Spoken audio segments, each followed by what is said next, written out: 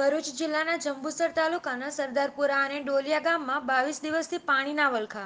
બે ગામોમાં બાવીસ દિવસથી પીવાનું પાણી પાણી પુરવઠા દ્વારા ન મળતા ટેન્કરથી પાણી મંગાવવામાં આવી રહ્યું છે. બંને ગામના સરપંચો દ્વારા વારંવાર પાણી પુરવઠાના અધિકારી, કર્મચારીઓ અને ચૂંટાયેલા પ્રતિનિધિઓને નેતાગણ વારંવાર રજૂઆતો કરવા છતાંય નથી લેતું કોઈ ધ્યાન પર.